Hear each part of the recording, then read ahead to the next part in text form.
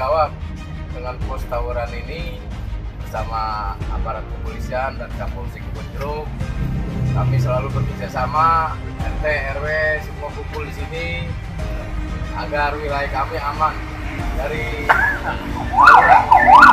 Sangat membahayakan warga kami dengan adanya posko tawuran ini saya berbantu sekali agar warga saya dalam menjaga keamanan bisa teratasi tidak ada tawuran.